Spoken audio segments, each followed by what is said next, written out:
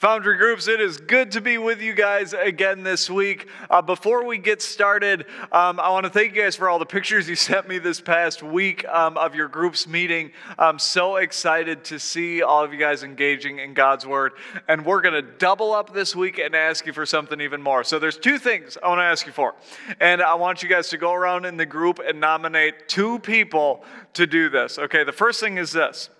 And here, let me give you some context of what we're actually going to do with it first before you sign up. So, we um, have a groups mixer coming up in the middle of February that we are so excited for. And uh, we've seen a lot of growth in groups over the course of the last few years and really want to promote our next groups mixer well to the church uh, for people who are not in it. So, we want to do two things. One, um, get people excited about groups, make people laugh, help them see that we have a good time in groups. And B, help them understand a little bit more about what happens in groups. Because a lot of times there's stereotypes about what groups look like. Are they just meeting in deep Bible study? Like, we, we want to speak to the why behind groups and what you actually enjoy about meeting with your group. So, first thing is this um, uh, we want to eliminate some stereotypes about the groups mixer. And one, one idea we came up with is naming your best pickup line. So maybe it's a pickup line that you've heard or something that has worked on your, your girlfriend or your fiance or your current spouse. Not current spouse, that sounds bad. Your spouse, the one you're staying with forever, right? uh, if you go through, go through uh, your group and say, what is your favorite pickup line maybe that you've used or that you've ever heard? And after you do that, pick the best two, and then that person has to stand up behind something, and there's going to be some directions on the bottom of the screen here. But we want you to record those things and send them into uh, my number. Uh, my number is going to be at the bottom of the screen again, like last week. But we want uh, to compile those videos of the best pickup lines and put them into a video that we can show for our services and say, hey, these are some pickup lines. If you have any any stereotypes about groups mixer, it's not these things. It's, it's a moment where we can gather and get, help you get to know a bunch of people in the church. So that's the first thing that I'm going to ask you guys to do. The next thing is to go around and talk about the, the let me actually um, pull this back up here a minute. It's the, the why of groups. Um, let me quick find this. I have it written down perfect here. Um, why do you love groups? Right? Why do you love groups? Um, I want to see, not only am I curious about why you love groups, but I want the church, the people who are in, in the seats that maybe, maybe debating about joining a group. Um, I don't think there is a better selling point than you speaking about why you love groups. So, two videos. One, your favorite stereotype, and two, why do you love groups? If you could send those to us um, today when you see this or over the course of the next week, we would love the chance to be able to put those together and speak value into uh, the people of our church who are not yet in a group um, because we'll be pr- pushing that groups mixer here coming up shortly. So if you got any questions that, don't be afraid to reach out. Um, we'd love, uh, love to keep you engaged in that way. With that being said, we'll jump right into content. As you can see, the question behind me, Jesus asked. We're in a series looking at all the questions that Jesus asked, um, or, or, many of the questions that Jesus asked throughout his ministry in the Gospels. And the one we're on this week is Why are you thinking these things? Why are you thinking these things? And we pull that from the story of Jesus when he is in a crowded house he's teaching and his his popularity is starting to gain interest right? People are gathering around him. The room is packed and there's a group of friends who have a friend who's paralyzed and they know that if they can get him to Jesus that Jesus has the power to heal him.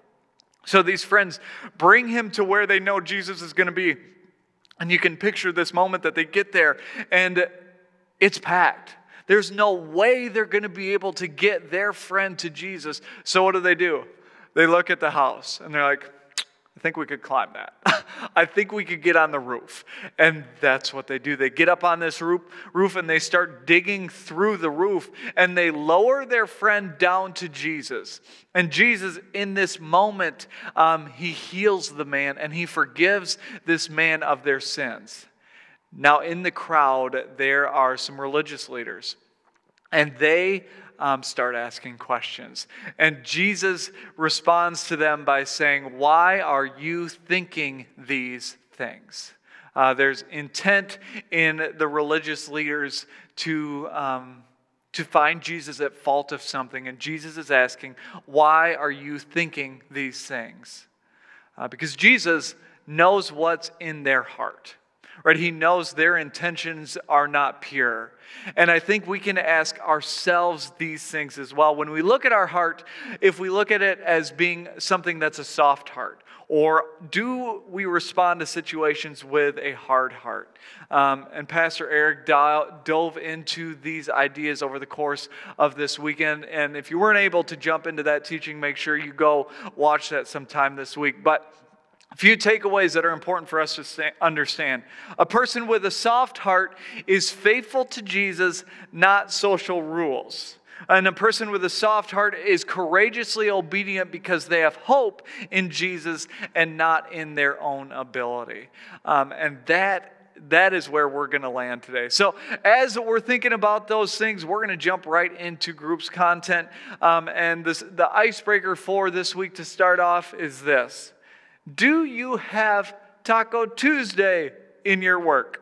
Or maybe you stay at home with the kids, or maybe you're just hanging out at home. Do you have Taco Tuesdays? Or do you have a certain food that you eat on every Tuesday? Or you eat this for breakfast on every Wednesday? Do you have some specific days that you eat specific food? And how do you feel if that day and that specific food gets interrupted?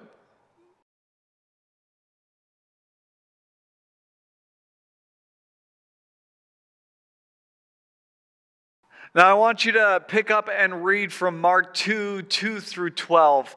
Um, and I did a brief synopsis of that story just a bit ago, but I want you to read that story and hear the words of Jesus and the interactions that Jesus has with uh, the man who got lowered and the people in the room. So take a minute, read Mark 2 2 through 12.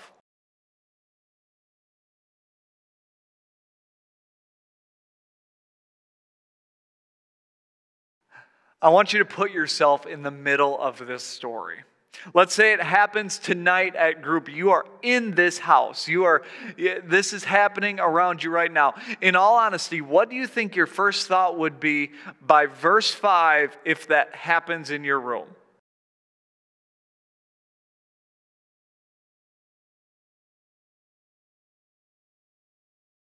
Why do you think the friends did what they did?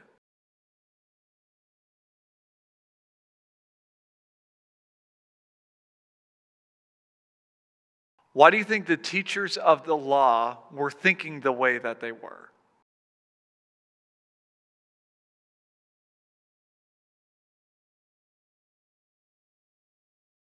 Describe a time when you jumped to judgment only to later realize the person was doing God's will.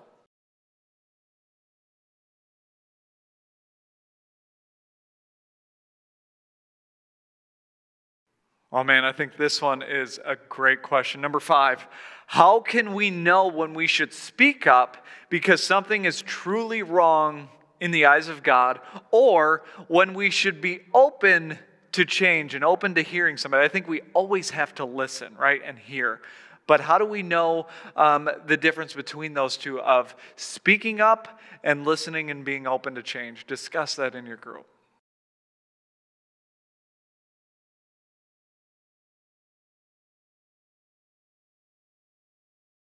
Describe a time when your heart was soft to the Lord's leading.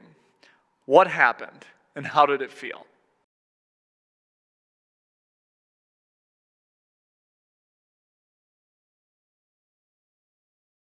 Pastor Eric compared um, the presence of God in our hearts to fire.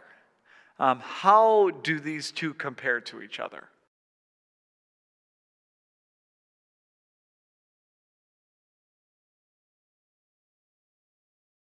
Do you agree that a person who has a soft heart is faithful to Jesus, not social rules, and courageously obedient because they hope in Jesus and not their own ability? Um, why or why not And do you have a specific example of how you've seen this play out?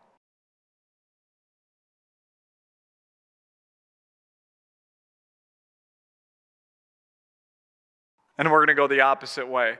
When you think of somebody with a hard heart, do you agree or disagree that they love rules more than people and carry a mental list of why they're more righteous than somebody else is? Why or why not? And do you have a specific example for that as well?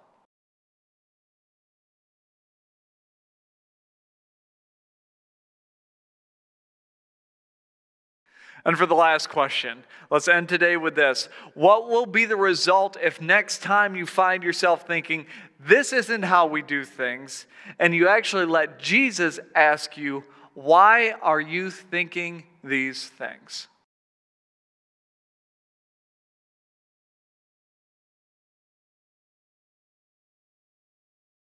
All right, groups, that is all we have for today. As always, end in prayer. Um, we believe that there is power in community when the community gets together and pray. So make sure to end in prayer and be living life together in that way. Um, and if you've got time, jump into the Digging Deeper section. It is rich in, um, in the Bible. I, I think there's nothing better than going one step farther and looking through the Old Testament, seeing how it compares to the New Testament, and realizing that this story is one story from God and his faithfulness to us. So jump into that if you've got time. Otherwise, leaders, make sure to take attendance. We love to know who's uh, joining us in groups. Otherwise, I will see you guys next week.